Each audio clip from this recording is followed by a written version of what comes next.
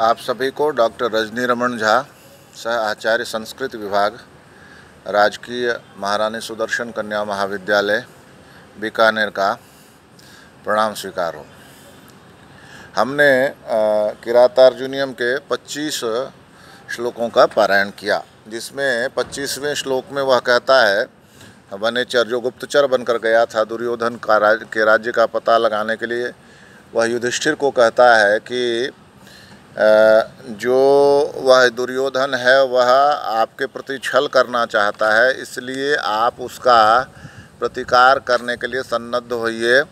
हम तो जो हमें सूचना मिलती है वह ला सकते हैं वह समाचार देने तक का ही हमारा अधिकार है हमारा काम है। तो इस तरह से वह आ, आ, इस तरह से इस तरह से वह अपनी बात रख के चुप हो जाता है। वही आगे कहते हैं, इति रयित्वा सत्क्रिय गतेथ पत्यो वन सन्निवासिनाम प्रविश्य कृष्णा सदनम महीभुजा तदा चक्षे तदा चक्षे नुज सन्निधौ वचः। क्या हुआ कि इति, अथ इति गिरम ईरयित्वा गते आत्मसत्क्रिय वन सन्निवासिनाम पत्यौ महिभुजा कृष्णा सदनम प्रविश्य अनुज सन्निधौ तत्वच आचचक्षे।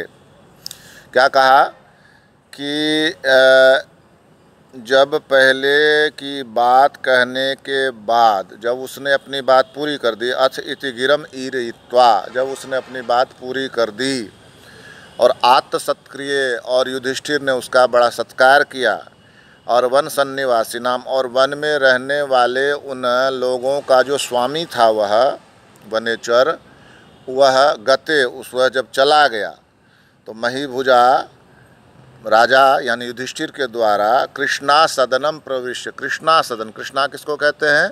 द्रौपदी को। द्रौपदी के कक्ष में प्रवेश किया उन्होंने युधिष्ठिर ने, और अनुज सन्निधो और अनुज सन्निधो अपने भाइयों के साथ तत्वच आचचक्षे। उन, उस वचन को, उस वाणी को कहा। क्या हुआ कि जब वह वनेचर अपनी बात पूरी करके चला गया युधिष्ठिर ने उसका अच्छा खासा सत्कार किया, यानी पुरस्कार दिया उसको और जब वह चला गया तो युधिष्ठिर जो थे वह कहाँ गए? कृष्णा के सदन में, द्रौपदी के कक्ष में। वनवास में बना रखा होगा कक्ष उन्होंने। तो और वहाँ गए तो वहाँ अपने भाइयों को भी उन्होंने देखा। सभी भाई बैठे थे वहाँ, या सभी भाइयों को बुला लिया। तो उन अपने भाइयों के समक्ष और कृष्णा के, यानी द्रौपदी के समक्ष उन्होंने वे सारी बातें कही जो उस वनेचर ने कही थी। तो अब क्या हुआ? तो निशम्य सिद्धिम दुषताम अपाकृति रतस्तत रतस्ततस्त्या विनयी विनियंतुम क्षमा नृपश्च मन्यु व्यवसाय दीपिनी रुदाजहार द्रुपता, द्रुपदात्मजा गिरह ततः द्रुपदात्मजा द्विशतां सिद्धिं निशम्य ततस्त्या ततस्त्याह अपाकृति विनियंतुम विनियंतुम अक्षमा। नृपस्य मनु व्यवसाय दीपिनी गिरह उदाजहार। अब क्या हुआ कि जब ततः तब द्रुपदात्मजा, द्रुपद की पुत्री यानी द्रौपदी यानी कृष्णा द्विशताम सिद्धिम निशम्य अपने शत्रु की उन्नति को सुनकर और ततस्त्याह अपाकृति विनियंतुम, और उससे जो उसके अंदर क्षोभ उत्पन्न हुआ, अपाकृति है, वह उस क्षोभ को क्या किया?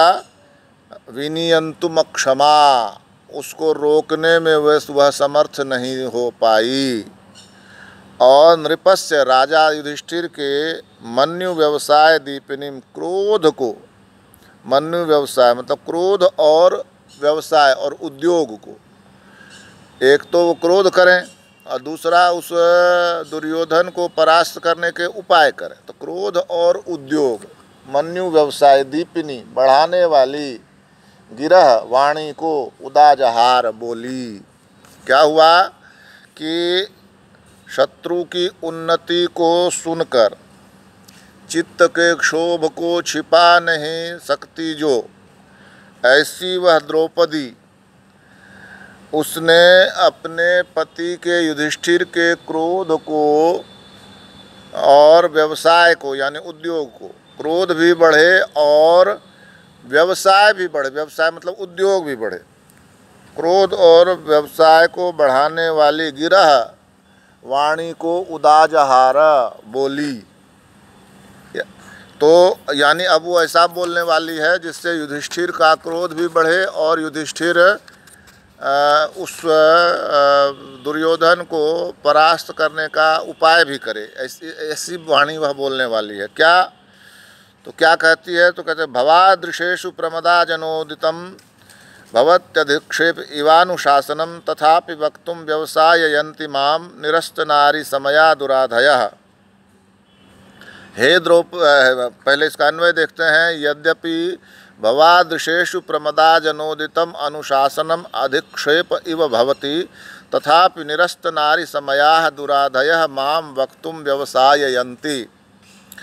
कहती है कि यद्यपि आप लोगों के जैसे महानुभाव, भवादृशेषु प्रमदा जनो जनोदितम स्त्री जनों की कही हुई बातें, अनुशासनम स्त्री जनों की कही हुई बातें, अनुशासनम, अधिक्षेप इव भवती। कैसी होती है? तो अधिक्षेप इव अपमान के समान होती है। तथापि तो भी निरस्त नारी समया दुराधय मेरे जो चित्त का दर्द है मेरे जो हृदय का दर्द है उसने निरस्त नारी समया। स्त्रियोचित जो मेरा शील है जो मेरी मेरी मर्यादा है उसको दूर कर दिया है हटा दिया है। यानी मैं मर्यादा भूल गई हूँ अब। और माम ऐसा वह जो आ, वो जो मर्यादा से हीनता है, वह शर्त जो हट गई है, वही मुझे बोलने के लिए व्यवसायंती प्रेरित कर रही है।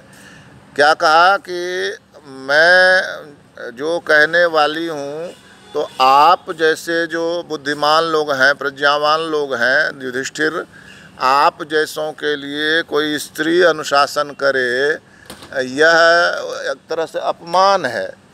आपका। किंतु अब जो परिस्थितियाँ हैं, उसमें जो मेरे चित्त का क्षोभ है, उसने मर्यादा को, स्त्री, स्त्रियोचित मर्यादा को ख़त्म कर दिया है।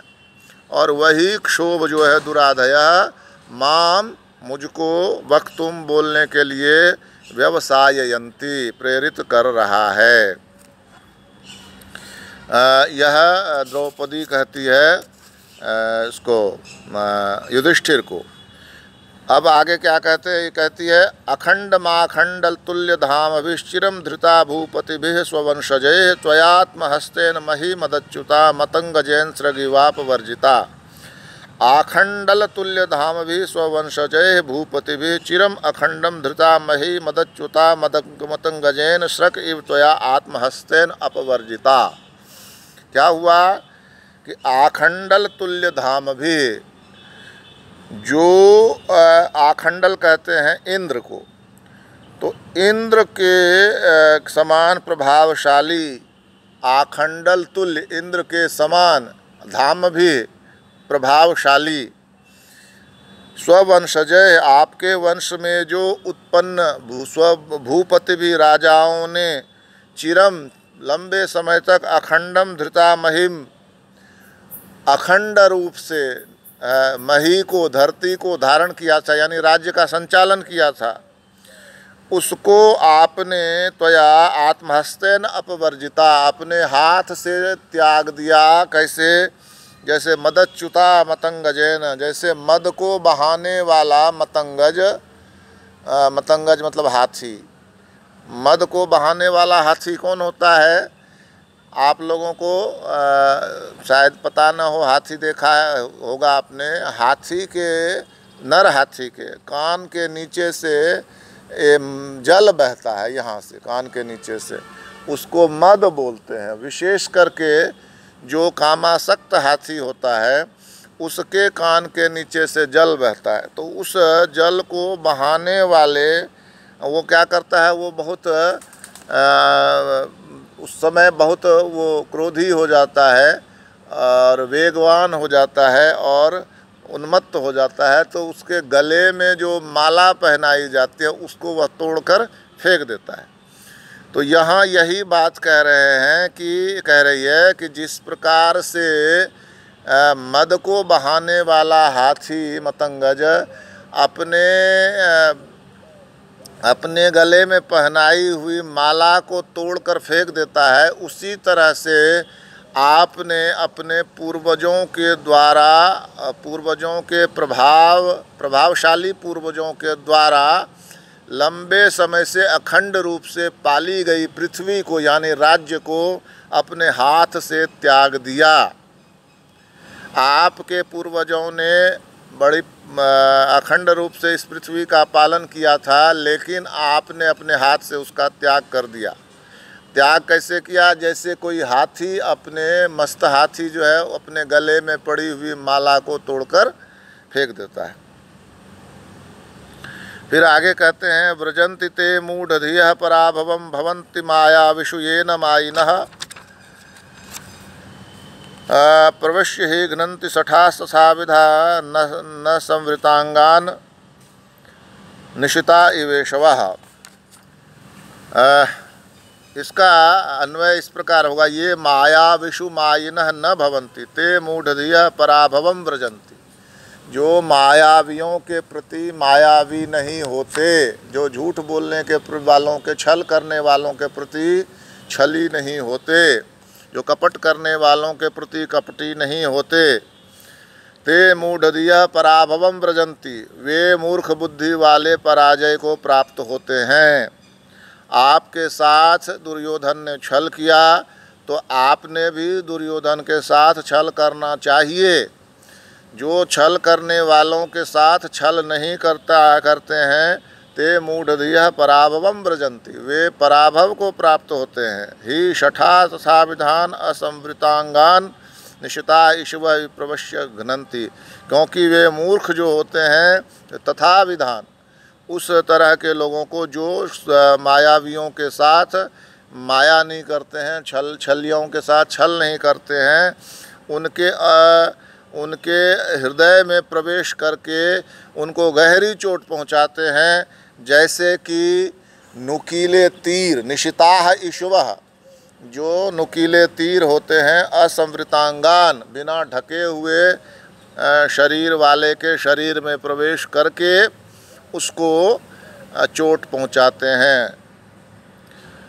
आज जो छल करने वाले के साथ छल नहीं करता वह पराभव को प्राप्त होता, मूर्ख बुद्धि है, वह पराभव को प्राप्त होता है।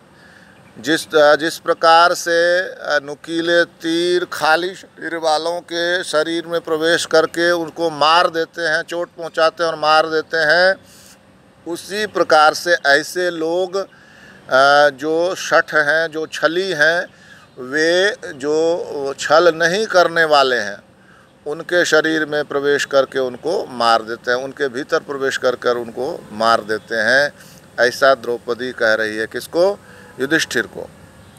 आगे कहती हैं गुणानुरक्ता अनुरक्त साधन कुलाभिमानी कुलजाम नराधिप परेस्तुदन्य क इवापहारये मनोरमा मात्मवधूमिव श्रियम। अनुरक्त साधना कुलाभिमानी नराधिप तदन्य कह इव गुणानुरक्ता कुलजा मनोरमा आत्मवधूम, इव श्रियम पर अपहारेत द्रौपदी कहती है कि यह अनुरक्त साधन आपके जितने सहायक हैं, वे सब हृदय से प्रेम करने वाले हैं आपको। और आप स्वयं महान वंश की मर्यादा रखते हैं। फिर भी आपके जैसा दूसरा राजा इस संसार में कौन होगा? जो अप, आपके गुणों से अनुराग करने वाली कुलीना मन को मोहने वाली एवं अपनी स्त्री के समान वंश परंपरा से ठहरी हुई राजलक्ष्मी को त्याग दे। फिर से देखते हैं इसको। अनुरक्त साधना आपके सहायक हैं वे आप पर अनुरक्त हैं। और कुलाभिमानी वह अनुरक्त हैं का मतलब आप आपसे हृदय से प्रेम करते हैं। और आप कुलाभिमानी हैं। आप अपने महान वंश की मर्यादा को आ, बहुत आदर से याद करते हैं अभिमान करते हैं उस पर। और आप नराधिप राजा भी हैं। तो नराधिप त्वदन्य कह आपके अलावा और कौन ऐसा राजा है कि जिसके सारे साधन उस पर अनुरक्त हैं? साधन में यहाँ मनुष्य भी होगा दूसरी दूसरी वस्तुएँ भी होंगी।